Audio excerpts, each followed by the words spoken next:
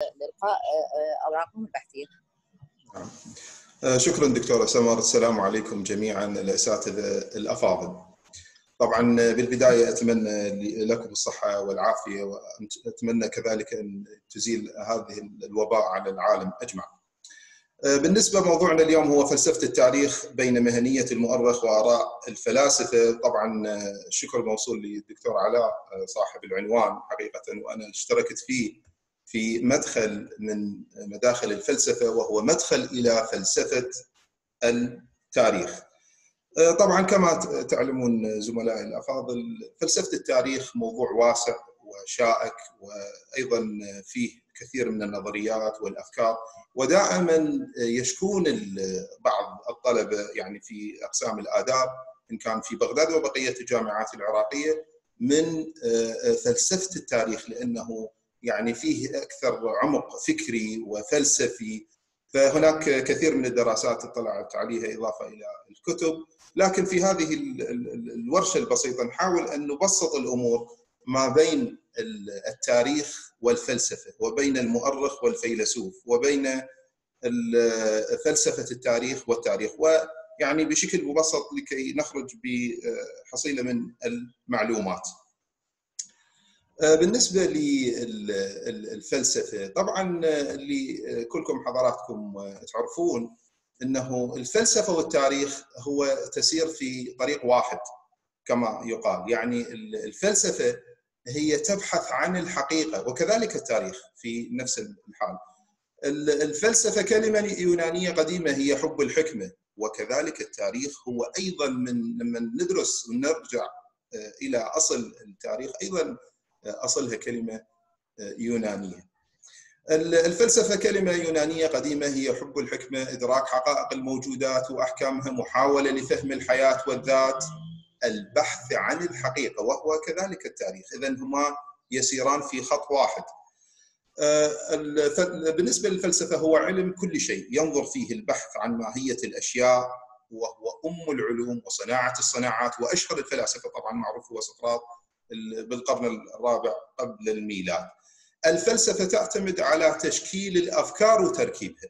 أما بالنسبة للتاريخ هو مثل ما معروف لحضراتكم هو علم له أصوله وقواعده ومناهجه فيه عرض أحوال الأمم الماضية وسجل الحوادث والوقائع وهو علم من أهم العلوم الإنسانية ينظر في الأحداث ويحللها ويقارن بينها. وأيضا هو علم وقائع ماديه تعرف بأحوال الناس المادية وأفعالها ووقائع من الطبيعة النفسية مثل الأفكار والدوافع وأصل الكلمة يونانية هستوريا وعند الرومان هستوري علم التاريخ هو علم استدلالي من الجزئي إلى الكلي فالعامل الأساس لفهم التاريخ يتعلق الأمر بالإنسان والمجتمع. نحاول في هذه الورقات أن نعرف ما هي صفة الفيلسوف وهنا أقصد الفيلسوف التاريخ كيف تكون صفاته وكيف يكون صفات المؤرخ وعندما يجتمع الفيلسوف مع المؤرخ يعني نستطيع أن نقول إنه فلسفة التاريخ عندما تجتمع بين الفلسفة والتاريخ تكون لها نتائج يعني صورة كاملة لهذا العلم. بالنسبة لصفات الفيلسوف، الفيلسوف هو الذي يجمع المعلومات ويسجلها والتحقق من صحتها بموضوعية، يفحصها ويعللها ويفسرها مبتدئا بالحدث الجزئي الذي لا يتوقف عندها بل يهتم أكثر بمحاولة فهم مسار الأحداث التاريخية الإنسانية ككل شاملة. اذا الفيلسوف أو يعني فيلسوف التاريخ هو الذي يفسر مجمل أحداث التاريخ واستخراج القواعد العامة التي يسير عليها التاريخ الإنساني. الفيلسوف يعمل على الماضي والحاضر والمستقبل والذي يتساءل كيف ولدت الحضارات وكيف انهارت. اذا الفيلسوف يدرس كل الماثل في جزيئاته بمنهج عقلي يستند على النظرة الكلية. فبشكل عام دائما الفيلسوف يميل إلى كتابات وتحليلات إلى التجريد أي بمعنى يبتعد عن علم الواقع. لذا وجب أن يأخذ الفيلسوف بفلسفة التاريخ لكي يكون واقعي أكثر واقعية. هنالك صفات مشتركة طبعا بين الفيلسوف والمؤرخ. الاثنان هما يمتلكان الصبر والشجاعة والابتعاد عن الغموض والاستعداد للقبول بالحقيقة النسبية. اذا يعني نستنتج من هذا الكلام إن التاريخ والفلسفة يسيران في اتجاه واحد، المؤرخ والفيلسوف هما آه، شخصية آه، واحدة. لا يمكن التفريق منها. وهذا يعني يعني أستطيع أن أقول يعني لا أجزم ولكن أقول رأيي الشخصي. العلوم القديمة كلها كانت يعني متراكبة لكن بتطور العلوم وتقدمها يعني أصبحت العلوم منفصلة عن أجزائها. على سبيل المثال الطب والصيدله على سبيل المثال فكانت موحدة. الفلسفة والتاريخ على سبيل المثال أيضا. كذلك الفيزياء والكيمياء. لكن بتطور العلوم تطور هذه العلوم في عند الإنسان انفصلت عن آه، هذه الجزيئيات فأصبح علم قائم لوحده. لكن لا يمكن للمؤرخ أن يبتعد عن الفلسفة وإلا تكون كتاباته ناقصة وغير مكتمله. فيمكن القول إن فيلسوف التاريخ يتوجه إلى الحاضر والمستقبل انطلاقا من الماضي بطريقة أشبه ما تكون بالفن يحتاج إلى العقل المرن والخيال الخصب. أما بالنسبة للمؤرخ وهو معروف لحضراتكم صفات المؤرخ ولكن يعني ظهرت لكي تكون هنالك مقارنة آه، بين الفلسفة والتاريخ. المؤرخ هو الذي يقدم التاريخ بصورة مشوقة جذابة للعقل وباعثة للوعي، هو بحاجة إلى الفلسفة، ما ممكن أن يستغني عن الفلسفة. والدليل على ذلك يعني أغلب آه، يعني الأساتذة والدارسين والباحثين عندما تخرجوا من يعني مرحلة الدكتوراه يكتبون على الأطروحة إنه آه، فلسفة التاريخ. يعني حصل على درجة دكتوراه بفلسفة التاريخ. فما ممكن إنه إحنا نبتعد عن الفلسفة بل هي يعني شيء مركب مع التاريخ لأنه مكمل لعمل الفيلسوف والنظرة الفلسفية للتاريخ. المؤرخ الذي يركز على أحداث الماضي وينشغل بين العلة والمعلول الذي يوصف الأحداث ويسردها مثل تاريخ الحضارات ويستفاد في عمله من النظرة الفلسفية الشاملة للفيلسوف. فالمؤرخ الحقيقي عندنا وهناك مؤرخ تقليدي، المؤرخ الحقيقي الذي يمتلك العقلية الفلسفية ويستطيع أن ينظر للأشياء بشكلها الكامل وليس الجزئي، نعم هو يبحث عن الجزئيات ليصل إلى الحقيقة لكن يجب أن تكون نظرته شمولية بنظرة الفيلسوف. المؤرخ يجمع الوثائق وينقدها بفحصها ثم يفسر المعلومات التي يحتاج إلى سعة الخيال دون الخروج عن الحقيقة.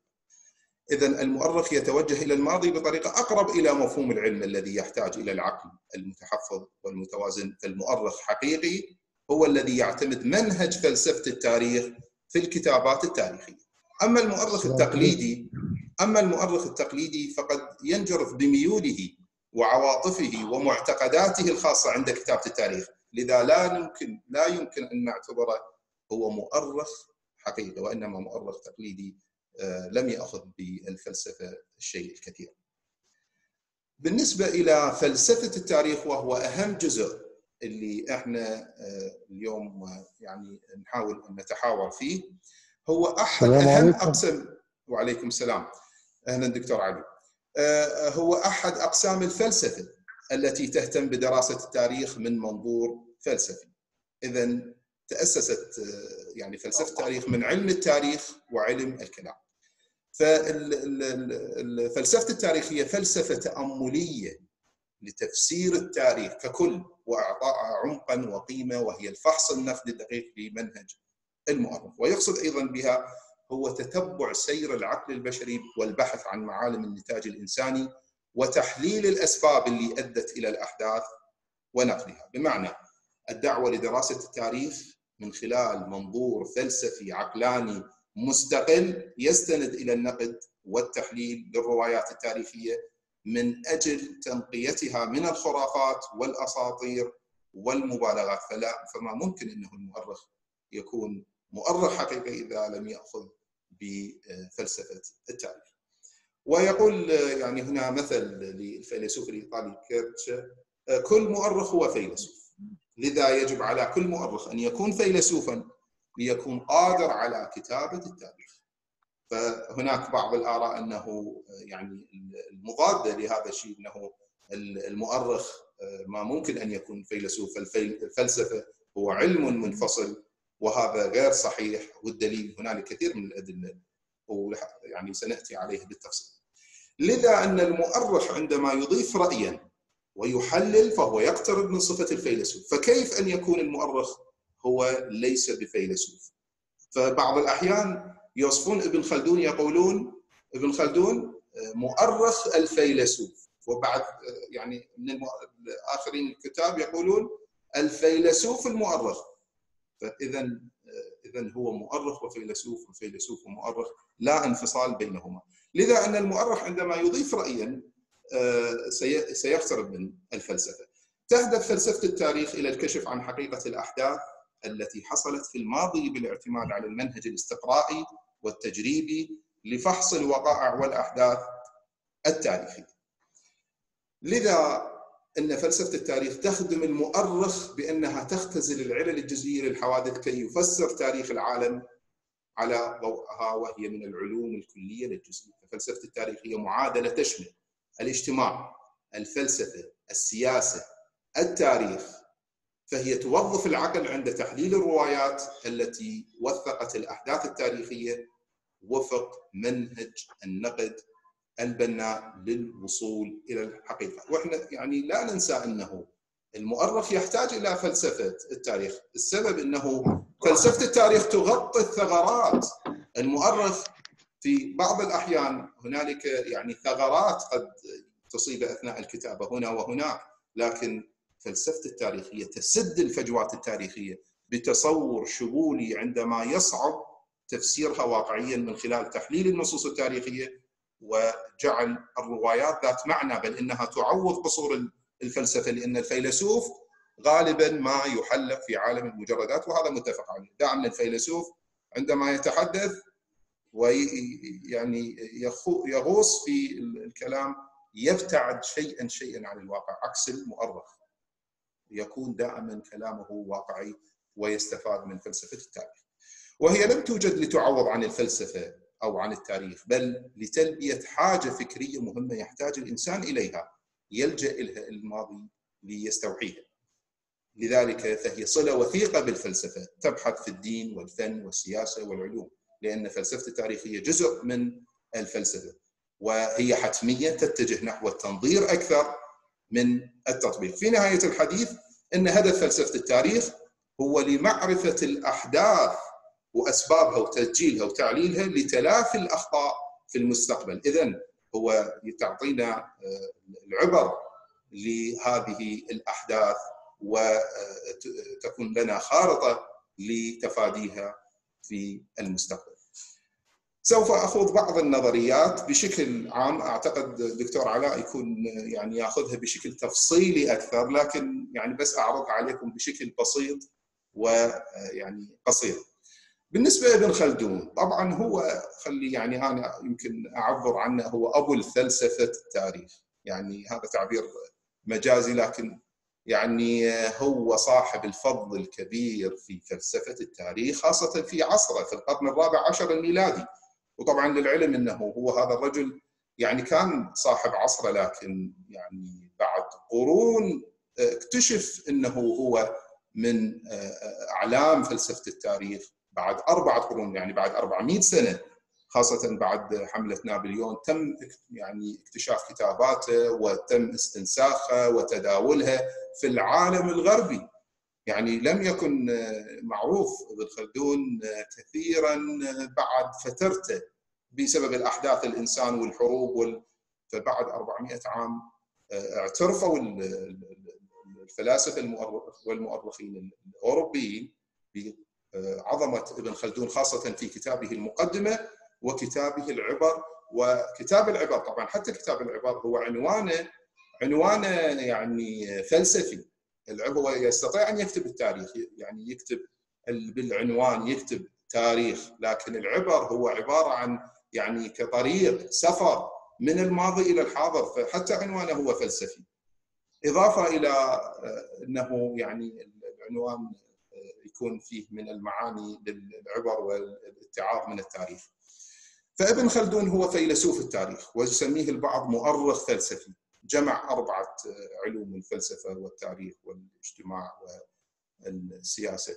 وصف التاريخ بأنه خبر عن العمران البشري وله طبعا النظريه الدوريه التعاقبيه للعمران استند فيها للعقل والتجربة فقد وصف الدول والحضارات مثل الكائن كيف إنه يبدي صغير ومن ثم يصبح يافع وشاب وكهل ومن ثم يموت.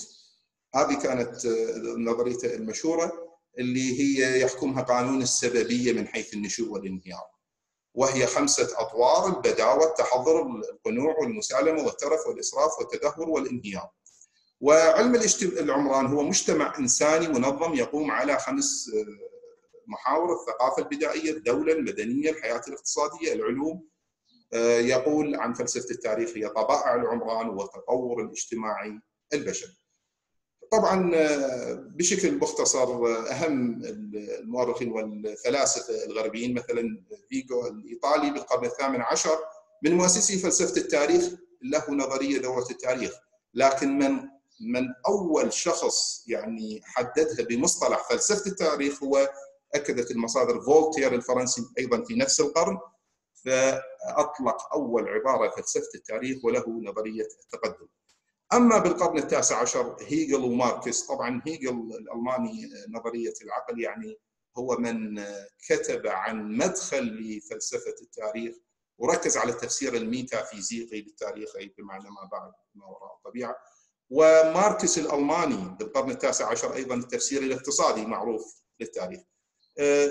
شبينجلر الألماني بالقرن العشرين ميلادي التفسير البيولوجي تفسيرا عضويا للتاريخ وأخيرا هو توينبي الانجليزي اللي نظرية المعروفة بالقرن العشرين نظرية الاستجابة والتحدي لتفسير التاريخ. أعتقد وقتي انتهى دكتورة سمر. شكرا لحسن الإصغاء والسلام عليكم ورحمة الله وبركاته.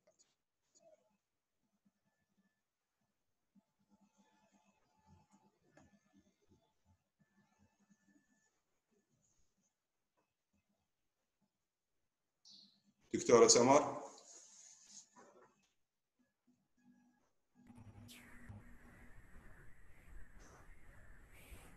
دكتور ماهر بس بعد كانت مع الكاميرا انت والدكتور علاء بس اخذ لكم صورة. okay okay لحظة لحظة. أتمنى إن شاء الله يكون لحظات يعني على الصورة بس لحظات. المحور اللي تحدثت به يعني ممتع وشيق لكم. ها هي. أتمنى تكون توفقت بهذه المعلومات البسيطة. والدكتور علاء أكيد راح يعطي بتفصيلات أكثر خاصة للعلماء الغربيين.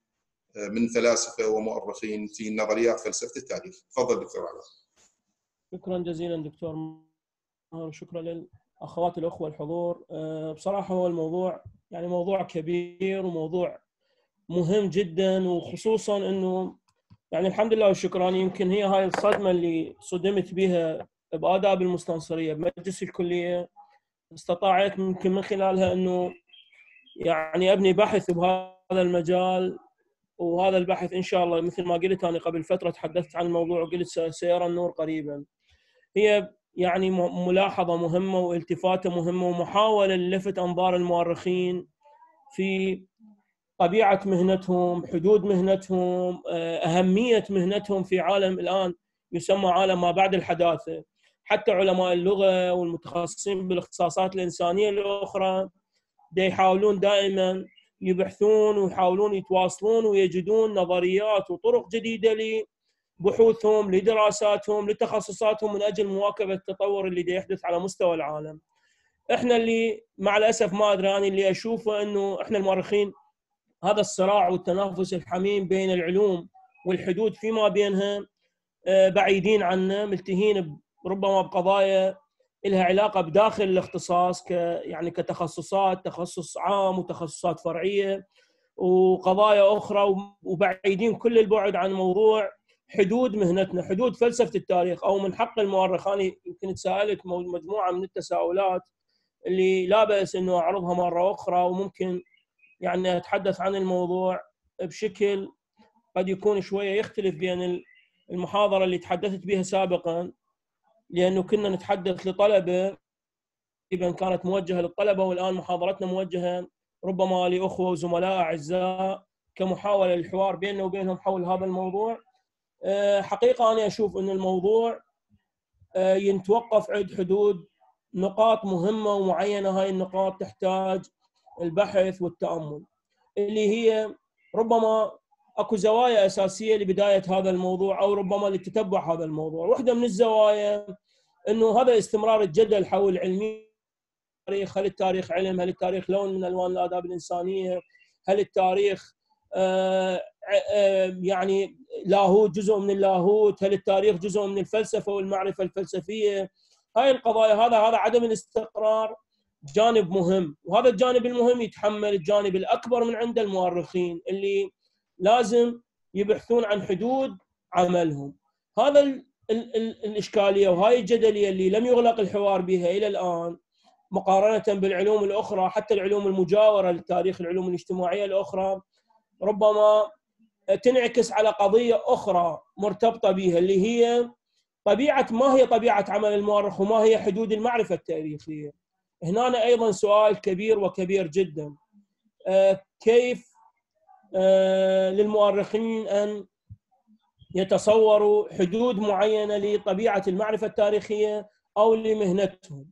إذا نروح إلى علم التاريخ نفسه مع بداياته ربما إذا نذهب باتجاه آه، رانكا أو يعني مؤسس منهجية البحث التاريخي اللي هو رانكا رانكا بحكم إنه أكثر الناس كانوا يتطفلون على التاريخ ويكتبون بالتاريخ هم الفلاسفة وكان وجهة نظره واعتقاده إنه دول الفلاسفة يأخذون التاريخ من مفهومين أساسيين اللي يسميهم عبد الله العروي الزمكانيه الزمان والمكان. فيعتقد إنه الفلاسفة دي يضيعون التاريخ ودي يشوهون حقائق التاريخ من خلال بحثهم عن العموميات وعن الخطوط العامة اللي تحرك التاريخ واللي تحكم مسرح حركة التاريخ الإنساني. فلذلك هذا الموضوع دفع باتجاه إنه يكون صارم جدا باتجاه نقطة معينة اللي هي التفلسف بالتاريخ أو ربما بتعبير آخر تفسير التاريخ. فلذلك منهجيته كانت منصبة اللي هي طبعا ظهرت في القرن في الربع الأول من القرن الثامن عشر في تحديدا في في كتابه اللي الفه في عام 1824 كانت هذه المنهجية منصبة آه، حول نقطة إنه المؤرخ عليه أنه يكتب آه، التاريخ وفقا لما يتوفر عن هذا الموضوع أو هاي الجزئية أو هاي الحادثة التاريخية من آه، وقائع من مصادر من وثائق آه، يبقى بإطار حدود هذا اللي موجود عنها من بيانات. ما من حق المؤرخ كذات كإنسان كشخص ويطرح أو يحاول أن يمرر وجهة نظره الشخصية عن الموضوع عليه أن يقتصر عند حدود المصادر. لكن هاي القضية مع الوقت بدأت تواجه مشاكل كبيرة وتساؤلات كبيرة. منها مثلا إنه أنت أوكي أنا إذا يعني أعتمد ما موجود عندي من مصادر مو راح يدخل عامل الصدفة هنا يعني قد يكون أنا دا أكتب بموضوع معين وهذا الموضوع عندي عليه مجموعة مصادر. وإذا أنا ماشي باتجاه معين وقد يكون قبل نهاية الموضوع أو قبل نهاية عملي البحثي في هذا الموضوع ربما أعثر على مصادر جديدة عن الموضوع تاخذ الموضوع بمسار آخر تعطيني وجهة نظر أخرى عن الموضوع. هذا جانب. قصور آخر شخصوه على هذا الخط اللي هو خط الرانكي والتاريخ الرانكي اللي يبتعد عن التفسير ويقتصر على فقط الوصف وعرض الحقائق كما هي. في انه اختصاره على الجانب السياسي لأن أنت تتحدث عن وثائق. الوثائق أنت اليوم تريد تتناول تاريخ اجتماعي تاريخ اقتصادي تاريخ ثقافي فكري. هنا أنا ما عندك وثائق أدلة دامغة. يعني مثل ما عندك مثلا وثائق الخارجية الأمريكية أنت جاي تكتب عن موضوع سياسي أو علاقات دولية بين بلدين معينين. لا هنا عندك أنت وثيقة ودليل دامغ. لكن من تتحدث عن التاريخ الاجتماعي والاقتصادي ربما والتاريخ الفكري تاريخ المجتمعات العامة اللي يسمونه التاريخ من الأسفل. أكو وجهة نظر لمجموعة من المؤرخين والباحثين تتناول هذا الموضوع من زاوية يسموها زاوية التاريخ من الأسفل يعني تاريخ المجتمعات البشرية. ومن ومن أبرز ربما الكتاب بهذا الموضوع حاليا المعاصرين أو الباحثين المعاصرين باحث هندي معروف آه، أعتقد آه، اسمه آه، مع الأسف يعني ما يحضرني اسمه بالضبط. لكن وجهة نظره بالتاريخ إنه آه، أنطى مثال كتاريخ شعوب آسيا اللي هي يسموها الشعوب التي لا تاريخ لها. شلون ندرسها؟ شعوب آسيا أنا دكتوره كفاح ندرس مادة جنوب وجنوب شرق آسيا. ندرس الفيتنام كمبوديا لاوس الفلبين مجموعة من بلدان العالم اللي ندرسها من خلال شنو؟ من خلال الاستعمار الغربي الأوروبي لهذه المناطق. ندرسها من خلال شنو؟ كتابات الأوروبيين المحتلين والوثائق خارجياتهم وثائق دولهم عن هذه المناطق.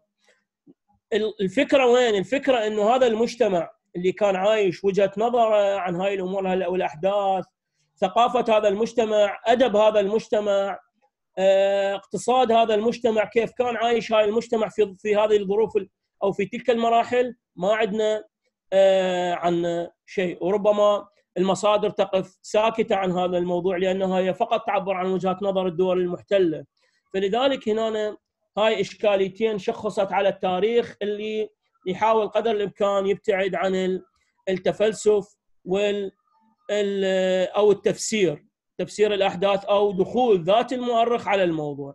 طبعا هاي القضية بالنصف الثاني من القرن الثامن التاسع عشر اثارت جدل كبير جدا وواسع في فرنسا.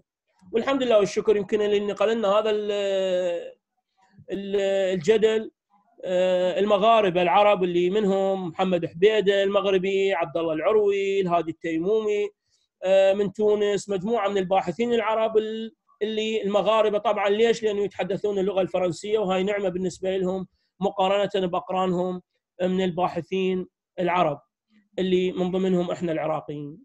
لكن اللي نقلوا لنا إياه واللي واللي فهمناه إنه هذا الموضوع كان محط جدل كبير أثار إشكاليات كبيرة خصوصا من إنه التاريخ اللي طلع من الفلسفة في مطلع القرن التاسع عشر أو في الربع الأول من القرن التاسع عشر بعد ما آه تحدثنا عن التاريخ الرانكي اللي وجد رانكا وزملاء الألمان في فرنسا ظهر عندنا جدل جديد هو إنه بدأت تظهر عندنا علوم أخرى في النصف في النصف الثاني من هذا القرن تظهر عندنا علم الاجتماع، الأنثروبولوجيا اللي كانت كلها جزء من التاريخ في يوم من الأيام كانت جزء من التاريخ هاي العلوم بدأت تظهر علوم قائمة بذاتها. لا بل هاي العلوم تطورت وأخذت شهادة وهوية إنه تكون علوم. ليش؟ لأنه عندها نقاط أساسية أو عندها منهجيات ثابتة منهجيات ممكن التحقق منها.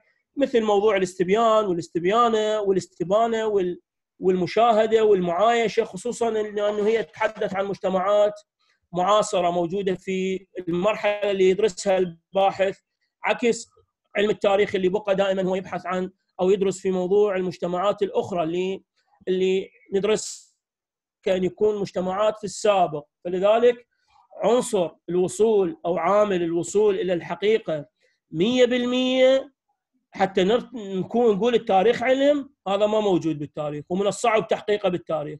ربما إحنا نقترب من الحقيقة والمؤرخ كل ما يقترب من الحقيقة أكثر كل ما ربما يكون آه، ما يصدر عنه من بحوث من نتاجات محط ثقة ومحط اعتزاز وتقدير بين الباحثين الآخرين وبين قراءه. لكن هاي النقطة الحصول أو الوصول إلى الحقيقة بشكل مطلق في كما في العلوم الأخرى موضوع مو سهل بالتاريخ كما مثلا إذا نريد نروح العلم وننطي مثال مثلا اللي هو H2SO4 حامض الكبريتيك H2 ذرتين هيدروجين S ذرة كبريت أربع ذرات أكسجين تعطينا حامض الكبريتيك. هسه بعد ألف سنة بعد 2000 سنة 4000 سنة نفس النتيجة. كذلك يمكن إذا نروح للرياضيات أي قاعدة رياضية أبسط قاعدة رياضية واحد زائد واحد يساوي اثنين. هاي نتيجة آه، حقيقة علمية ثابتة من الصعب أو آه، قد يكون نكرانها شيء صعب. يعني من المئات وآلاف السنين هي النتيجة واحدة. لكن بالتاريخ هذا المفهوم غير موجود. بالتاريخ أنت تبحث دائما للوصول إلى الحقيقة لكن هاي الحقيقة إيش قد تقترب من عندها؟ هنا القضية الأساسية. هنا دخل موضوع التشابك بين التاريخ والفلسفة. المؤرخ يبحث عن الحقيقة الفيلسوف يبحث عن الحقيقة. الفيلسوف يستخدم الجوانب العقلية 100% تقريبا. يعني أسئلته الفلسفية موضوع المنطق والعقل يعتمدها. لذلك أسلوبه يسمونه التجريدي. المؤرخ وقع بمشكلة كبيرة هنا بين قضية كونه مؤرخ عليه ان يتعامل مع الأحداث الجزئية وفق مفهومين اسمهم الزمان والمكان ويتبع حقيقة ما جرى بعيدا عن اهواء أو رغباته الشخصية وبين قضية إنه أحيانا تكون مصادره قاصرة عن هذا الموضوع. الفيلسوف مطلقة إيده بهذا المجال من حقه يتصرف كيفما شاء لأنه الفلسفة تعتمد الجانب التجريدي عكس التاريخ اللي يطمح أن يوصل إلى صفة العلم ويعتمد الجانب اللي هو الجانب التجريبي. فلذلك موضوع التجريب وموضوع الاقتراب من العلمية هنا أصبحت حصرة المؤرخ بزاوية محددة، هاي الزاوية المحددة هي زاوية آه، منهج البحث التاريخي كاصول وقواعد يمشي عليها المؤرخ هذا جانب، لكن هل هذا كافي؟ أنا تقديري الشخصي هذا غير كافي، ليش؟ لأنه إحنا عندنا الآن مئات أو ربما آلاف من الكتابات اللي آه، كتبها المؤرخين يمكن يتفق الزملاء وياي قسم منها.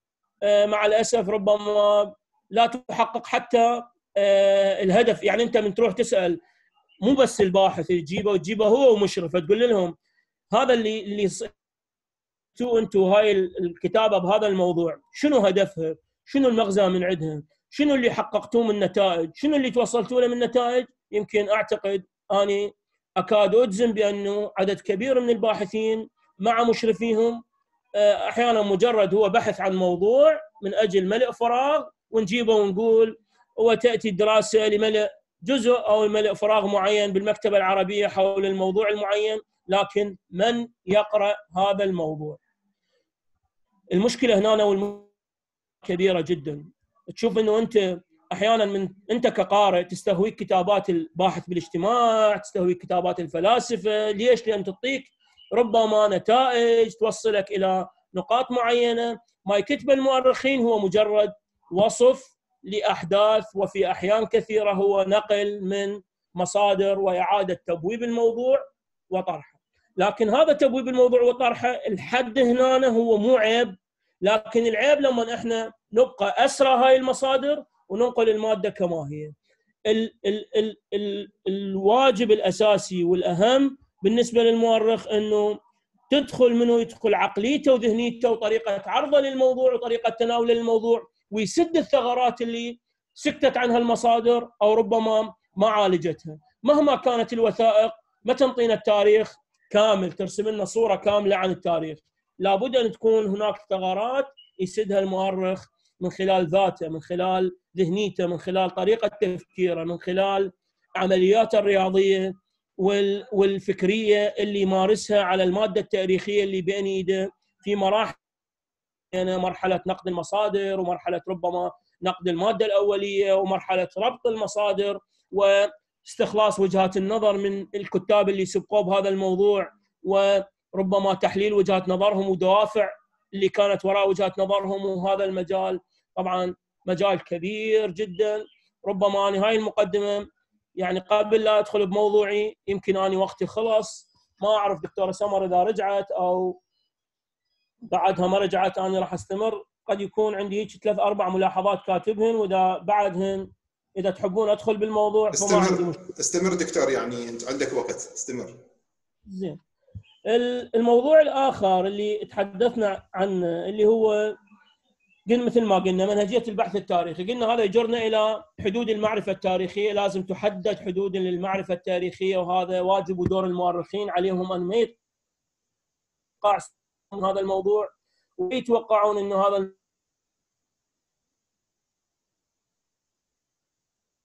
اليوم أنا أقول مهنتي مؤرخ. وين حدود مهنتي؟ أنا من حقي أتفلسف وأحكي. قبل شوي دكتور ماهر تحدث عن نقطة اللي إحنا نقول دائما نمنح دكتوراه في فلسفة التاريخ. دكتوراه في فلسفة التاريخ أوكي إحنا نمنح دكتوراه في فلسفة التاريخ. شو يسمونها هاي الفلسفة؟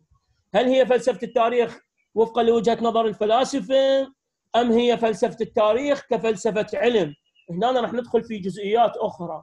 يعني ال ال كل العلوم لها فلسفة خاصة بها فلذلك إحنا من نقول من إحنا الشخص اللي اللي حاصل على شهادة معينة. دكتوراه في فلسفة التاريخ هنا نتحدث عن فلسفة العلم أو فلسفة انتمائه لهذا العلم ودفاعه عن هذا العلم وحدود آه، مهنة هذا العلم ودوره وعطائه والمحافظة عليه كعلم قائم بين العلوم. لو خلص مثل ما نتفق ويا هواي ناس أكو ناس الآن يقول ماكو داعي بعد حتى هاي المعرفة التاريخية باب لازم نسده لأن بس ما جلبت لنا غير المشاكل والصراعات والمشاحنات والطائفيات وغيرها.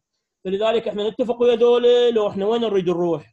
لو بس نريد ناخذ الشهادة حتى نقول إحنا أساتذة بالجامعات أو إحنا إحنا مهنتنا اللي هو أستاذ جامعي في أحيان معينة آه، يمكن يمكن يتفق وياي عدد كبير من أخواني وزملائي إنه أنت حتى تستحي تقول أني آه، قسم التاريخ في أحيان معينة. أوكي أنا أستاذ بالجامعة وتسكت. من واحد يسالك تحس شوية بدونية من تقول اني بالتاريخ. هاي موجودة. هاي الدونيه إلى متى راح تبقى؟ راح نحاول نتلمس حدود لعلميتنا ولعلمنا ولتخصصنا ولمهنتنا ونبحث عنها ونقعدها كقواعد ثابتة وحدود ثابتة بيننا وبين العلوم الأخرى اللي تحاول تنقض على التاريخ وتأخذ دور المؤرخ لو لا والله آه، فقط نخلي رأسنا مثل ما يقول بالرمال وننهي الموضوع وننهي الجدل. وإحنا مجرد حصلنا على شهادة وأصبحنا أساتذة ربما في جامعات آه، ومن هالباب التفاصيل هاي. الجانب الآخر اللي اللي أريد أوصل له هو موضوع آه، الموضوع بين الفلسفة من حيث المفهوم العام المجرد من الفلسفه قبل شوي أيضا دكتور ماهر تحدث عن نقطة أساسية ومهمة. هي موضوع آه، فلسفة التاريخ آه، يعني كمفهوم عام. الآن إحنا العفو قبل شوي دكتور ماهر قال عن موضوع الفلسفة التأملية. العفو اساتذتي بس ثواني بس أكتب السيد العميد يدق علي.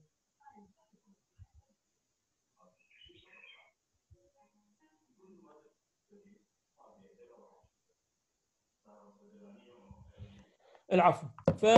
فايضا دكتور ماهر أثار وأشار النقطه مهمة ومعينة شار لها مر عليها مرور الكرام هي الفلسفة التأملية للتاريخ، دكتور ماهر وزملائي ما أعرف أنا عندي وجهة نظر بهذا الموضوع، إحنا اللي نقوم به مو الفلسفة التأملية للتاريخ، الفلسفة التأملية للتاريخ ربما المؤرخ المحترف اللي على على مكانة عالية وعلى سمعة عالية وإلى فد آه، موقع عالي ومميز بين المؤرخين قد يكون يخوض في هذا المجال لكن إحنا كمؤرخين ندخل في إطار عملنا يدخل في إطار وفي حدود الفلسفة التحليلية للتاريخ.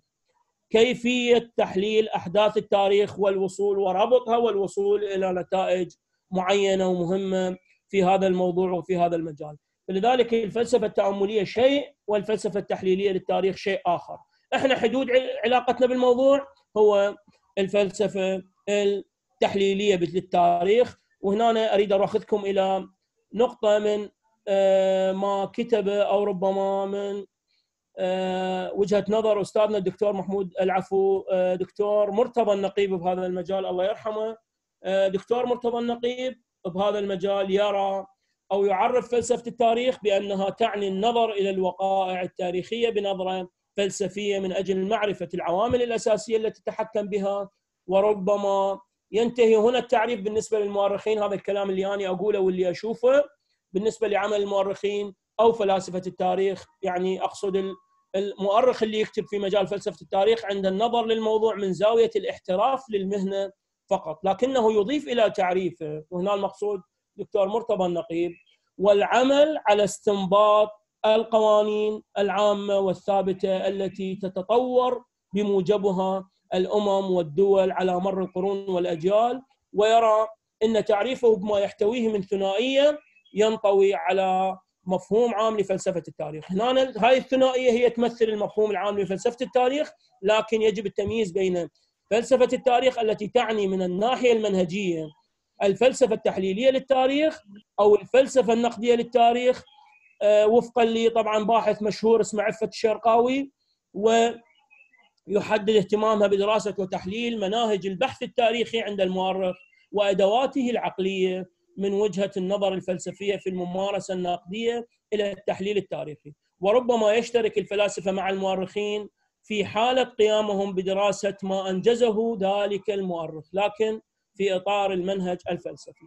أما فيما يتعلق الامر من زاوية منهج البحث التاريخي فهو حكرا على المؤرخين دون غيرهم وهو ما دفع النقيب إلى حث المؤرخين للالتفات عليه في مناقشة الرسائل والاطاريح الجامعية، طبعا هذا موضوع موجود وتحدثنا تحدث به النقيب بمرارة في جلسة كانت في بيت الحكمة هو تحدث بمرارة عن إنه الغالبية العظمى من المؤرخين ما. ما يناقشون أثناء مناقشة رسائل الماجستير واطاريح الدكتوراه ما يناقشون من وجهة نظر ومن باب فلسفة التاريخ والرؤية حول الموضوع، الرؤية العامة حول البحث والدراسة والنتائج اللي توصل لها الباحث، في أحيان كثيرة تجد هنالك بحوث لمج... لربما رسائل ماجستير أو لا علاقة لل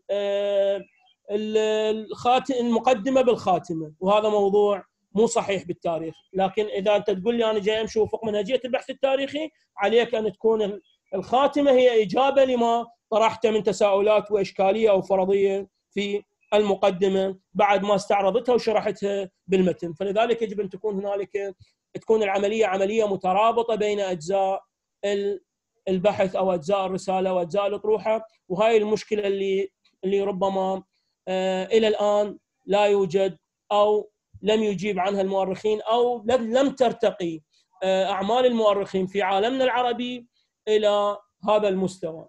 هذا الموضوع أيضا يتفق وياه شخص اسمه أو مؤرخ اسمه عبد العزيز الأمراني اللي طبعا يتحدث عن المتخصصين بالكتابة التاريخية في عالمنا العربي بالقول. يمارس المؤرخ العربي كتابة التاريخ وفقا للنمط التقليدي القائم على السرد الوقائع وجمعها في مصنفات ومجلدات تظل في الغالب حبيب حبيسة الرفوف ونادرا ما تقرأ. إن الكتابة التاريخية العربية ما تزال حبيسة الرؤية التقليدية للتاريخ آه، موضوعا ومنهجا. لقد آن الأوان ليخرج المؤرخون العرب من أبراجهم العاجية ويطلون على مشكلات الحاضر كمنطق للبحث والتفكير في الماضي بغية المساهمة في إيجاد حلول لمشكلات الواقع العربي ويضيف إنها دعوة صريحة إلى المهتمين بالكتابة التاريخية في الوطن العربي لتجاوز التاريخ السردي والعمل على تأسيس تاريخ نقدي إشكالي يبحث في المشكلات الراهنه للمجتمع اعتمادا على مقاربة علمية ونقدية لا ترى في دراسة الماضي هدفا لذاته بل مدخلا لفهم الحاضر ولإعادة بناء علاقة جديدة مع الزمن التاريخي. أما النوع الآخر في الفلسفه فهي الفلسفة التأملية للتاريخ التي طبعا تهتم بالنتائج التي يتوصل إليها المؤرخون كأساس لبناء صروح علمية وفكرية جديدة فهي ربما من واجبات الفيلسوف. آه، وأيضا أنا أستشهد هنا بهاي بهذا السلايد لفقرة للفيلسوف جوستوف لوبون اللي تت... اللي يتحدث بها عن إنه تتألف فلسفة كل علم من مبادئه العامة. فلذلك قد يكون فلسفة التاريخ هي تمثل المبادئ العامة للتاريخ وهذا اللي الجانب اللي استفزنا واللي دفعنا باتجاه آه، مناقشة هذا الموضوع وطرحه لأنه مثل ما قلت لكم كانت أنا صدمة بالنسبة لي لما اجوني قسم الفلسفة وطبعا آه، بحضور السيد العميد ومجموعة كبيرة آه، يحاولون أنه أو لقيت حتى مدرسيها أعتقد زملائي اللي موجودين بالقسم قبل سنتين أو ثلاثة أو أربعة فلاسفة ومدرسين فلسفة التاريخ على الرغم من أنه وجهة نظري الشخصية تقول أنه فلسفة التاريخ وفقا للمؤرخين ولدراساتهم ولعملهم بعيدة كل البعد عن عمل الفلاسفة ووجهات نظرهم وآرائهم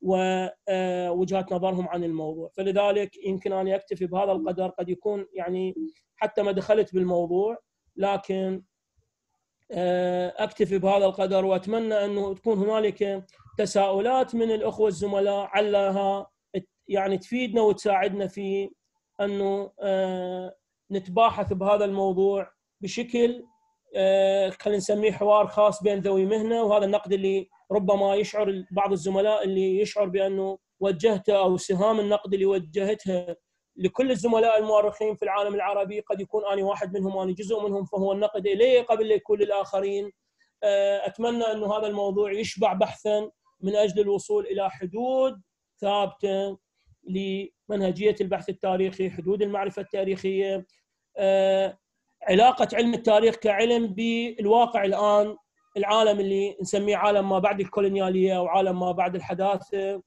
آه، العالم اللي آه، ربما أصبح ينظر إلى جميع العلوم الإنسانية نظرة ازدراء، كيفما التاريخ اللي ربما هو أكثر العلوم الإنسانية اتهاما بأنه ما يرتقي إلى مستوى العلم، ربما لهنا اكتفي وأنتظر ما يجول بخاطر زملائي من مداخلات أو ربما آراء أو أفكار عن الموضوع. شكرا جزيلا. إذا موجودة دكتورة سمر وإذا ما موجود. دكتور علاء شكراً. شكرا. شكرا. تفضل دكتورة سمر. شكرا دكتور علاء على هذا الطرح المتميز. طبعا شكرا أيضا الدكتور ماهر على طرحه. بس كل ما ذكر الدكتور علاء حقيقة إحنا كنا نعيشه فإحنا نفتح باب ال- الحوار طبعا اسفه أنا قبل قليل شوية طلعت له كان عندي اتصال مع السيد العميد وأيضا هو اتصل بدكتور علاء قال علي مع الأسف ما آه. جاء بصراحة. إيه قال عندي قال قلت له عنده محاضرة اتفق قلت له أنا أتصل بي قال لي أنا أريد الشكر على جهوده وهم عنده شغلة ويا حضرتك حاضر على كل. الله يبارك فيك دكتور إحنا نفتح باب النقاش ويا ريت مثل ما قال دكتور علاء اللي عنده أي سؤال استفسار خلي يصير نقاش حلقة نقاشيه بما إنه أصحاب مهنة. فنبي نسمع اراء إخوان منو يعني منو يبدي النقاش؟ طبعا دكتور هاي مشكلة إنه الفلسفة يكون اللي من التاريخ هم طرحوها هالسنة. إي مو أنا هم يعني هم لأنه يعني أنا ودكتور جلال واجهنا الموضوع و يعني أعتقد هم مدرسيها سنتين بقسمنا فلذلك هم كلش متحمسين إنه يأخذون المادة. أنا جدا. استشهدت لهم بآداب بغداد. قلت لهم أوكي. دكتورة فريدة أنت من اتصلي بأي قسم؟ فلسفة وقسم التاريخ بآداب بغداد. إذا يوم واحد مدرس فيلسوف فلسفة التاريخ مو مؤرخ أنا هسه أنطيهم اياه وصار. حوار صراحة لأن كان بوقتها دكتور أكرم ودكتور أحمد أمين مجلس وكان دكتور رح يعني كانوا ثلاث فلاسفة بصراحة حاضرين. لحد ما دكتورة فريدة قالت ناجله لجلسه أخرى وكل واحد يجيب دفوعه والحمد لله الموضوع يعني بعد ما طرح بحوارات جانبية مع دكتورة فريدة ومع دكتور رحيم قدرت أنهي الموضوع. إيه. فقد يكون أنا متأكد راح يعاد على حضرتك اسف هم دخلت في الموضوع. لا تفضل. بالعكس دكتور آه، أنت حضرتك آه، صاحب يعني أنت الأصل دكتور. دكتور هو انطرح الموضوع؟ مو ما انطرح. وقال وحش قلت له هاي هاي ما ما ترهم. قلت له إذا مو مؤرخ يدرس فلسفة التاريخ ما ترهم. قلت له إحنا كنا بالتربية أبو الرشد دكتور آه عبد الأمير دكسن هو درسنا إياه. قلت له ينظل من وجهة نظر تاريخية بس أنتم تنظر تاخذون الأمور كلها فلسفية. أنت ما تعرف إحنا آرائنا كمؤرخين تختلف عن آرائكم مليون المية. راد حكي قلت له ما تق... هذا حكيك ما مقنع. قلت له إذا درستوه أنت فهاي غلطه ترى مو صحيح تدرسون فلسفة التاريخ. زين؟ هاي خاصة بالمؤرخين. شلون آه نظراتهم ووضعهم قال لي لا لا إحنا نعطي من ماكو مشكلة نعطي بس المبادئ الأساسية. قلت له إحنا ما راح نستفاد من عندك. إذا تعطي المبادئ الأساسية ما راح نستفاد من عندكم. راح أسس فلسفة يعني. أسس. فلسفه تعلمهم. تفكير فلسفي تعلمهم منطق الفلسفة تعلمهم هاي القضايا. أو ربما يروحونها من جانب العفو قاطعتك دكتورة؟ تاريخ الفلسفة. وإحنا هم. هذا مو شغلنا. هم جاي ندرس الطالب تاريخ الفلسفة. إحنا نريد المؤرخ كيف يفكر بالتاريخ كيف يفسر التاريخ. فلذلك هذا موضوع مهم. آني مع إنه في كل مرحلة دراسية يكون عندنا مادة خاصة هي أما فلسفة التاريخ أو ربما منهج البحث التاريخي أو حتى موضوع كلش مهم. يعني استجد حاليا والآن يعني موجودة بدراسات كبيرة حتى بالعالم العربي. موضوع مدارس الكتابة التاريخية. الآن منهجية البحث التاريخي هي ما عادت المنهجية اللي وصلتنا بالأربعينيات وبالخمسينيات ذيك المنهجية الموحدة والمتفق عليها وظالين إحنا بس بمشكلة انظر لو ينظر والمصدر نفسه لو المصدر السابق وغيره. لا القضية صارت أكو مدارس بالكتابة التاريخية وأنا تتذكرون من عقدنا الندوة المشتركة استعرضتها اللي هي المدرسة الوضعانية مدرسة رانكا ومدرسة التاريخ المنهجي مدرسة الحوليات الفرنسية مدرسة التاريخ العكسي ومجموعة من المدارس اللي لازم طالبنا يدرسها حتى يعرف هو إيش يسوي وهو وين. هاي النقاط اللي بصراحة يعني نحتاج إنه ما. صحيح. والله دكتور. السلام عليكم. صحيح. طبعا. السلام عليكم. أهلا دكتور. علي. دكتور علي. شرفتنا. شلون الصحة؟ الله يخليك. آمين. يعني نعقب له شو اسمه أسماء. دكتور. تفضل دكتور. عفوا. آه، طبعا هو الموضوع آه، واسع جدا وجميل جدا والزملاء آه، ماهر وعلاء يعني غطوا الموضوع بشكل جيد طرحوا آراء جدا جميلة. هي وبعدين هذا الصراع ما بين الفلسفة والتاريخ. أولا الفلسفة هي ذلك العلم الذي يبحث عن تاريخي المنهج الفلسفي لتفكير الفلسفة تبحث وتحدد لنا منهج. المنهج شيء والفلسفة شيء. المؤرخ هو ذلك الذي إلى منهج تاريخي معين في إيجاد آه، مخارج التاريخ التي يدرسها. وبالتالي الفلسفة شيء والمؤرخ شيء. هذه القضايا هي تتداخل كثيرا جدا وبالتاكيد يعني لها يعني أما في الوطن العربي يعني إحنا الشخصية العربية تختلف عن الشخصية الأخرى. لأن التاريخ الأوروبي مثلا درس بطريقة مجردة. إحنا نحن المؤرخون العرب محتاجين اولا أن ندرس نفسنا قبل أن ندرس التاريخ. لأننا كلنا كل المؤرخين العرب ينتقلون إلى التاريخ اعتمادا على الهوى والقناعات المسبقة والانتماءات. وبالتالي اطلاقا ابدا لا يمكن أن نفهم التاريخ العربي بوجود هكذا شخصيات تنقل لذلك دكتور علي قال أكو مدرسة. الآن يجب أن نبحث عن مد لتنقية المؤرخ العربي قبل أن نبحث في التاريخ العربي لأنه لا يمكن ابدا أن تجد هنالك مؤرخا عربيا مجردا. ولذلك تلاحظون في التاريخ الإسلام الذي يدرس في سوريا يختلف عن العراق ويختلف عن مصر والسعوديه تختلف عن المغرب والمغرب تختلف عن تونس وغيرها. أنا درست في أكثر من بلد عربي حقيقه في تونس والمغرب وفي ليبيا أيضا. وأيضا في في لبنان. حقيقه شفت مناهج التخ... النظرة إلى التاريخ تختلف اختلافا جذريا ما بين وجهة أخرى حتى ضمن البلد الواحد يعني صاحب التاريخ اللي درسناه بزمن البعثيين يختلف عن التاريخ اللي درسناه بزمن عبد الكريم قاسم يختلف عن التاريخ اللي نظرنا له بزمن. وبالتالي هذه مشكلة كبيرة جدا. آه هذا بس عندي نقطة أخيرة أحب أضيفها وأترك الحديث لكم أنا ما بدي أطيل يعني لأنه أنا رتب محاضره فقط إنه دا أشوف الكل دا تركز على المنطق. المنطق أيها الأخوة خداع في التاريخ. أي مؤرخ يستند على المنطق هذا يعني إنه مؤرخ فاشل. لأن المنطق خداع. التاريخ لا يستند على المنطق إطلاقا. لأن واحد يجي يقول لك أنا والله لدي أمامي أحداث وبعد ذلك أركبها بتركيبة منطقية. هذا هذا هذا هراء.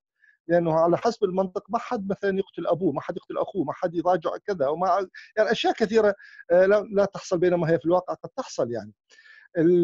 هاي حتى من أيام ديمقريطس يعني كان أيضا درسوها وطلعت نكتة جميلة جدا من أيام اليونان إنه المنطق لا ينفع للتاريخ يعني قال إنه أحد الفلاسفه أحد الحكماء لما أحد الأشخاص أن يصير محامي قال له بس بشرط أول قضية تفوز بها أنا آخذ فلوسها فهذا المحامي تخرج رفض أن ينطي فلوس التدريس فرفعوها للمحكمة.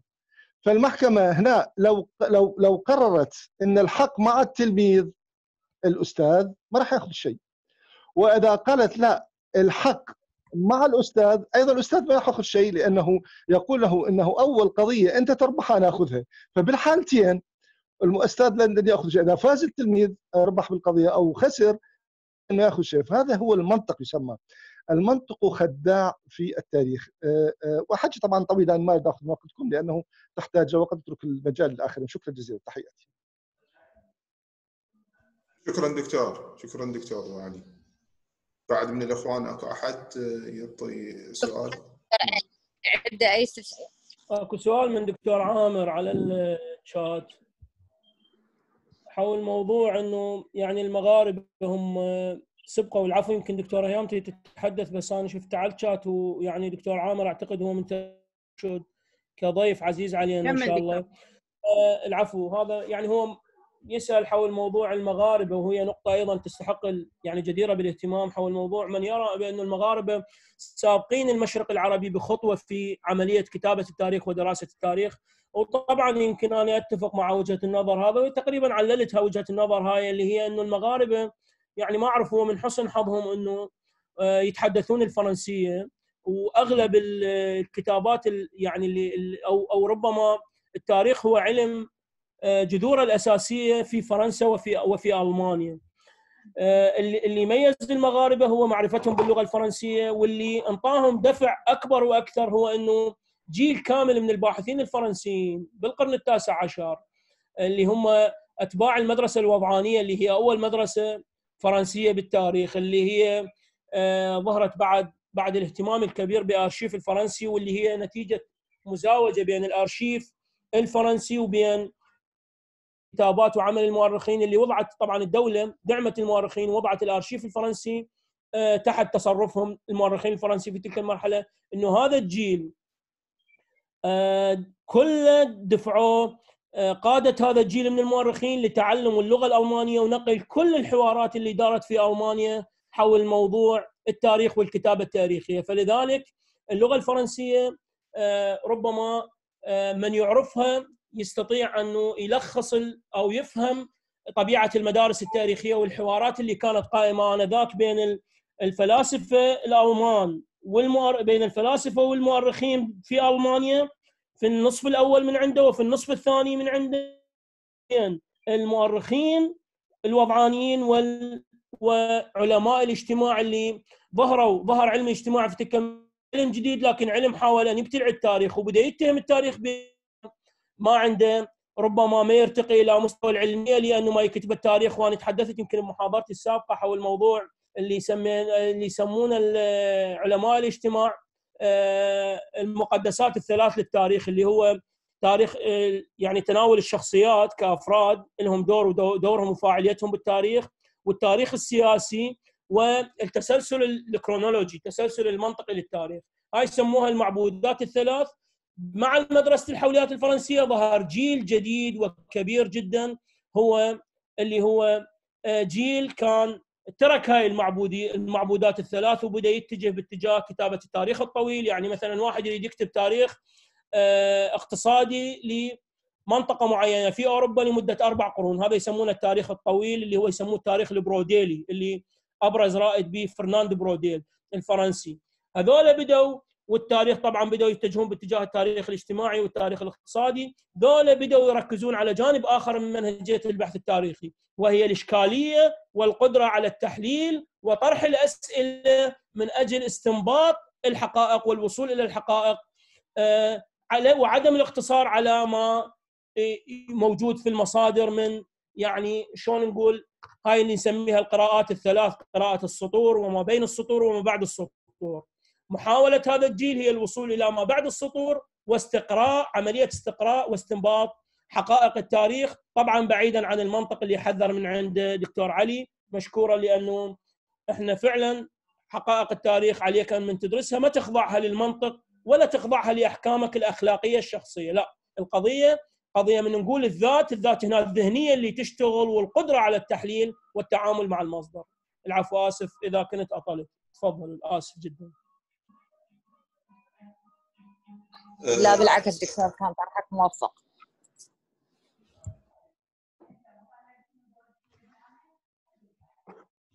دكتورة ما ادري دكتورة سمر تفضلي. دكتورة سمر ما أعرف أكو أحد؟ ما عندي شيء دكتور بس دكتورة هيام عندها السلام عليكم دكتور.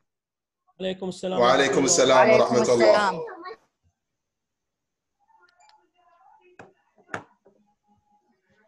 تفضلي دكتورة هيام. عيني دكتور. آه، دكتور فيما يخص هسه منهج البحث التاريخي بالمرحله الثانية. عيني دكتور تسمعني؟ واضح جدا. تفضل دكتور. عيني دكتور. آه، قلت لك أنا هسه أدرس المرحلة الثانية. هاي صار سنتين أنا ماخذتهم مادة منهج البحث التاريخي. القضية اللي دا ألاحظها حضرتك تحدثت عن المدارس المنهجية وإنه كذا مدرسة وإحنا من شلون مرتبطين المنهجية وحده اللي دا نعلمها للطلاب وركزين عليها. إذا تجي هسه للشيء العملي اللي موجود الطالب لازم تعوده حاليا شلون يكتب منهج البحث وشلون يكتب البحث أو طريقة صياغة البحث. الطالب لحد الآن بالمرحلة الثانية طبعا من التخبط اللي صار قبل سنتين إنه رجعوا مادة منهج البحث التاريخي بالمرحلة الأولى.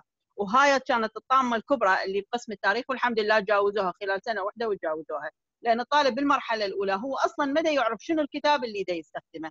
مدى يعرف شنو المادة التاريخية اللي موجودة عنده فمن نطوا منهج البحث التاريخي في المرحلة الأولى شبه دمره. نرجع المنهج التاريخي بالمرحله الثانية من ياخذ الطالب. أول قضية راح يشوفها إنه شنو المنهج المصدر وشنو المرجع اللي دا يستخدمه. راح يبدي يدرس مادة التاريخ الحديث ويدرس مادة التاريخ الإسلامي فلازم يميز بين هذه المادة أو المفردات الخاصة بها والكتب اللي يعتمدها والكتب اللي يعتمدها الخاصة بالتاريخ الحديث مثلا واللي خاصة بالتاريخ فاللي أريد أقوله إنه الطالب بهذه المرحلة وخاصة بالمرحلة الثانية ما نقدر نعلمه شنو المدارس اللي موجودة وشلون الطرق الخاصة بالكتابة هو يا دوب انه تعلم على منهجية واحدة صح إنه هي غلط لازم يتعلمها يتعلم حتى لو طريقة واحدة بس يعرف شلون يكتب البحث التاريخي. هذه نقطة. النقطة الثانية إنه الطالب يحتاج بهذه المرحلة لازم لازم لازم يكون له أستاذ أستاذ يتمتع اولا المهنية وثانيا لازم بالأمانة العلمية لأن الطالب بدراسة المنهج البحث التاريخي يحتاج تبدو وياه من ما أترك أني إن شاء الله لأن أنتم تعرفون إن المادة تتغير كل كم سنة لازم يبدو وياهم قلت لكم من الألف. يعلمه شنو هذا الكتاب وشلون يستخدمه المنهجية شلون ينزلها المصدر شلون ينزله حاليا شلون يكتب مصدر نفسه وكذا أنا مبتعدة عنه بس يا دوب إنه اعلمه شنو الكتاب وشلون يلزمه وشلون يستخدمه. هذا فيما يخص قضية الطالبة. القضية الثانية دكتور إنه لازم البحوث اللي إذا نكتبها إحنا كتدريسيين أو يكتب الباحث بشكل عام لازم يتمتع. صحيح إنه لازم تكون فد لمس تصير به فد تغيير لازم ما يبقى بس مجرد سرد وتدوين للأحداث. صحيح. من القضايا اللي عانيت فيها وأنا شفتها مثلا بشكل عملي إنه من تجي مثلا تكتب تاريخ إسلامي وإحنا هذه المشكلة أيضا تصير عندنا دكتورة هي ولو الدكتوره هي ولو شوي دكتوره أيام ولو آسفة أقاطعك. بس دكتور علاء أني أنت ودكتور ما راح اترك لكم تقيدون الورشة لأن صار عندي شغل كلش ضريرة فاسمحوا لي أطلع من الورشة وشاكرة جهودكم أوكي اللي, دكتور اللي بذلتوها وشاكرة آرائكم كلها. شكرا جزيل شكرا. للكل. شكرا. وخصوصا دكتور مار دكتور علاء على هذه الورشة القيمة واللي تخص موضوعنا واللي صدق يجب أن تعالج معالجة موضوعية. شكرا دكتور دكتور. علاء مرة الاخ بارك دكتور الله فيك. ممنونين. شكرا جزيلا. واعتذر مرة بس عندي شغلة ضرورية جدا. تسمحوا لي. ماكو مشكلة ماكو يخليك. مشكلة. تسمحوا لي. شكرا جزيلا. مع السلامة. عندي دكتور عندي اسفه لا. دكتورة أيام بس العفو دكتورة هيام بس لا عندي دكتورة لا. لا أنا ممنونة. كملت ما بقى شيء. آه ممنونة. مع السلامة. مع السلامة. آه، دكتورة هيام بس العفو يعني إحنا مو على مو- موضوع فلسفة التاريخ والفلسفة والمؤرخ إحنا شنو الغاية من هاي الورشة؟ يعني نريد يعني نصل ال- ال- ال- النتيجة النهائية إنه علينا إحنا خاصة كأساتذة لا، ومع عفوا دكتور مو أكو نقاط أكو نقاط ذكرها ذكرها دكتور علاء. ما يخالف. ما يخالف. حتى لو ذكرها دكتور علاء بس هو دكتور بشكل عام. تعقيب عليها. okay okay بس إحنا شو نريد؟ إحنا شو نريد؟ إحنا نريد ولا أقل. إحنا من خلال هاي الورشة نريد نوظف الفلسفة للتاريخ. هذا ال- هذا كل ما مقصود يعني. هذا نريد اللي إحنا نريد يعني نستفاد منه خاصة الطلبة. إنه نريد نوظف الفلسفة للتاريخ. لأنه لولا الفلسفة لما كان هنالك تاريخ آه، بشكل واضح أكيد. وفلسفي دقيق العلة والمعلول وغيرها من هذه الأمور. فهذا اللي إحنا نريد نوصل له يعني. فبعض حتى يعني اطلعت على بعض البحوث للاساتذه خاصة كلية التربية بنات لجامعه آه، الأنبار آه، الطلبة يعانون من فلسفة التاريخ، السبب إنه بعض الأساتذة يغوصون في الفلسفة ويعوفون الغاية اللي هي فلسفة التاريخ، يعني النظريات وغيرها من هاي الأمور. دكتور هي. حتى المفردات حتى المفردات من تجي تشوف إن المفردات دائما تكون جافة فتشوف الطالب يبتعد أو يتجبجب من مادة الفلسفة يعني إيه، ف- مجرد تعداد وكذا فمتى يوظفها الأستاذ بالطريقة أها هو هذا اللي نريد نوصله هو هذا إحنا نريد نعطي أهمية لفلسفة التاريخ لأنه لولا فلسفة التاريخ لما كان هناك تاريخ واضح المعالم وال... ونوصل للنتائج ونستفاد من عنده ك... للمستقبل أيضا نعم دكتور. عفوا دكتور ماهر لو تسمح لي يعني أنا يعني صحيح وأنا أوقف وياك ويا دكتور علاء ويا دكتورة سمر قضية إنه لازم يدافعون عن الفلسفة ولازم تبقى بقسم التاريخ لأن أنا من الناس اللي شفتهم وكنت موجودة وياهم بالمرحلة الثانية وشفتهم شلون دمروا التاريخ بالمفردات اللي انطوها مجرد مفردات عامة وبعيدة كل البعد عن هم التاريخ. يدرسون أسس فلسفة دكتور. أسس فلسفة وتاريخ الفلسفة يدرسون. حقيقه يعني هذا الموضوع. أنا شنو يعني بصراحة يعني تعقيبا على كلام حضرتك يمكن أكو نقطة كلش مهمة. إذا إحنا ننظر لل... في أحيان معينة المؤرخين من نريد ننافس الفلاسفة آه، في موضوع نشأة العلوم وتطورها نقول واحدة من صفات العلوم هي التراكمية. فالتراكمية تعني إنه التاريخ هو اللي حفظ للعلوم آه، يعني نظرياتها من خلال ما يدون عن عنها من نظريات وتفاصيل. فلذلك إحنا أكو نقطة وصلنا لها يعني ضروري أتمنى إن ندخلها كمادة كجانب عملي يعني كمنهج يعني ندرسه. هو تاريخ علم التاريخ. يعني الآن إحنا عندنا فد موضوع مهم وكبير جدا. يعني حقيقة مثل ما تحدثت لكم قبل شوية عن وجود مدارس في الكتابة التاريخية. هل إحنا كعلم تاريخ ما يستحق إنه أبو الفلسفة يدرس أسس الفلسفة وأبو العلم النفس يدرس نظريات علم النفس وكذا؟ إحنا ما الموضوع ما يستحق إنه ندخل مادة يعني يعني ما أعرف أنا هاي المنهجية وهذا عدم المرونة والتصلب أمام أي شيء جديد أمام أي تغيير. شنو الضير إنه ندرس مادة الآن إحنا بأقسام التاريخ خصوصا في كليات الآداب؟ لأن إحنا أحيانا من يمكن دكتوره فردوس راح تضحك وبعض الإخوان من نقول إحنا المؤرخين أحيانا جماعة الآداب نقول إحنا arts بعيدين عن جماعة ال education اللي هم يعني مجرد يتخرجون مدرسين أو معلمين. إحنا على أساس يعني أهل الاختصاص وذوي الاختصاص. فلذلك كبيرة على اختصاص مثل هذا الاختصاص أن يدرس تاريخه تاريخ نشأة أو نشأة وتطور علم التاريخ أو تاريخ بالتاريخ هذا موضوع مهم جدا لازم ناخذه بنظر الاعتبار. أقول لك منهج التاريخ أنا أقول كل سنة لازم إحنا ندربنا مادة نظرية سواء كان بالدراسات الأولية أو العليا حتى مؤرخ ويعرف شنو أساس وأبعاد وأولويات وأهمية وجوده كعلم قائم بين العلوم الأخرى المجاورة. آه، والآن أيضا كلش مهم دكتورة أثرتي من خلال موضوع منهج البحث التاريخي. الآن إحنا ما نظلم طلابنا من ندرسهم لحد الآن؟ هذا موضوع الهوامش وانظر وينظر. والمصدر السابق والمصدر نفسه وطريقة التهميش. والآن أنت تروح كل المجلات العلمية المحكمة بدأت تتجه باتجاه ال APA اللي هي مدرسة العلوم التربوية والنفسية الأمريكية اللي الآن يمكن بكبسة زر أنت تقدر تضيف مصدر وهامش بأي مكان بالمتن وطريقة التهميش طريقة سهلة وطريقة بعيدة كل البعد عن طريقة كتابتنا إحنا كمؤرخين والمنهجية اللي ورثناها وربما البعض اللي يعني مع الأسف وبين قوسين اللي يجهل موضوع ال APA يعتقد بأنه آه، يختلف عن تهميش التاريخ أو ما يحقق كل اللي تريده منهجية البحث التاريخي. لا وطريقة التهميش على ال APA كل ما يحتاج مؤرخ من أدلة وأسانيد من أجل أو المصادر اللي يعتمد عليها في بحثه من مصادر من وثائق. تشوف انت قائمة طويلة عريضة حتى إذا تنقل من آه، بحث منشور على اليوتيوب هم أن ينطيك طريقة للتهميش يقول لك انطيني الرابط انطيني كذا كذا كل التفاصيل بال APA واللي الآن كل المجلات العالمية تتجه بما فيها المجلات العربية باتجاه طريقة وضع الهامش على ال APA هذا طالبنا اللي إلى الآن طريقه قديمه انظر وينظر والمصدر السابق والمصدر نفسه. وين يكون الطبع؟ وين تكون الكذا؟ وين تكون الكذا؟ وهي كلها قضايا شكلية. يعني ما أريد أطيل آسف جدا لأنه قد يكون أخذت وقت كبير جدا. العباره يعني تقريبا يعني بعد إذا معين أو شيء أنا حاضر لكن أنا يعني آسف إذا قد يكون أطيل على زملائنا لكن الموضوع حقيقة يعني يستحق وقفه. شكرا دكتور. دكتور. شكرا دكتور, دكتور بار بارك الله فيك. ما أدري بعد أكو أحد أكو سؤال. أنا نزلت الرابط. رابط التسجيل موجود بالشات. آه، يعني ممكن تقدرون إنه تسجلون أسماءكم.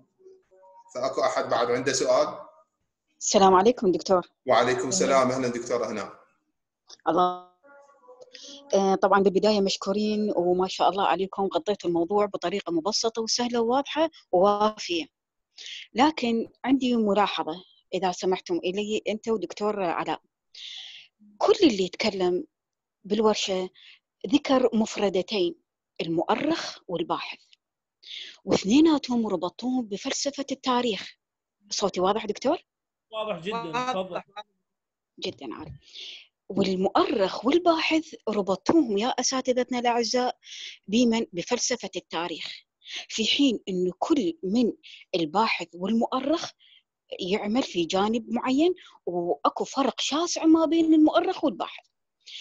صح الاثنين يتخذ نفس أسلوب البحث والتدوين إلا أن هناك اختلاف كبير بيناتهم. المؤرخ يهتم فقط في دراسة الجانب التاريخي وكل الأحداث التاريخية. بينما الباحث هو اللي يهتم بدراسة مجال علمي معين ويحاول عمل دراسة جديدة أو يأكد نظرية أو ينفي أخرى بينما المؤرخ لا لا ما يأتينا بعلم جديد لكنه يقوم يقدم أحداث تاريخية ويقدمها بتدوينها بأسلوبه ولهذا اللي يرتبط. أنا من وجهة نظري ما أعرف توافقون الرأي أو لا اللي يرتبط بفلسفة التاريخ مو اثنينهم لا اللي يرتبط بفلسفة التاريخ هو الباحث وليس المؤرخ لكن ما أروع أن يكون الباحث مؤرخ وأن يحاول المؤرخ أن يكون باحث؟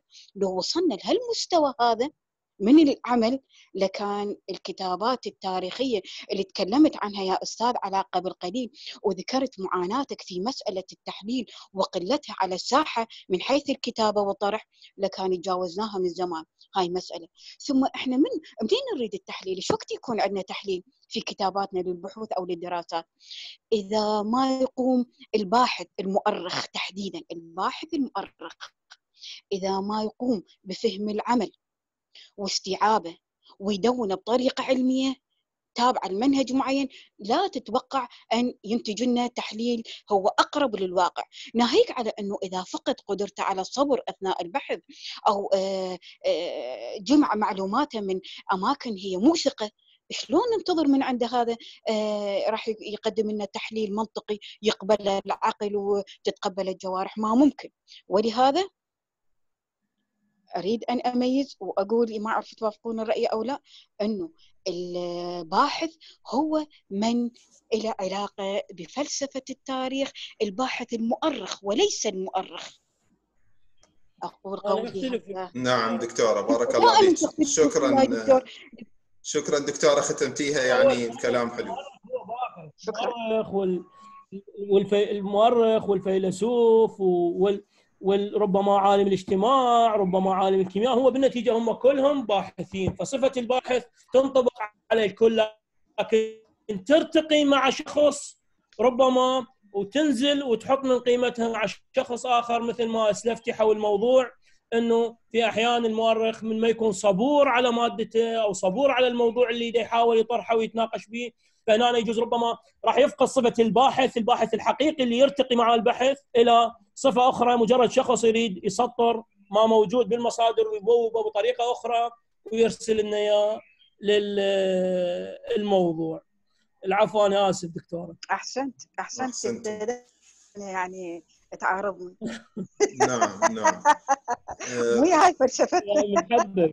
نعم طبعا هو الموضوع الموضوع الموضوع الموضوع واسع. ويعني ما يتحدد بوقت محدد لأنه ما دام دخلنا بالفلسفة فالموضوع أكثر نعم. من هذا الوقت.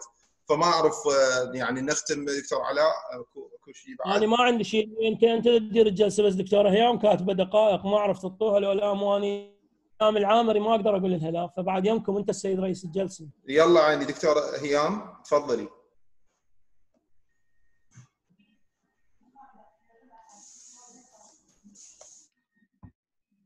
لا ما عندي شيء دكتور ما عندي شيء بس دا أقول لك هذا الموضوع مو مال دقائق.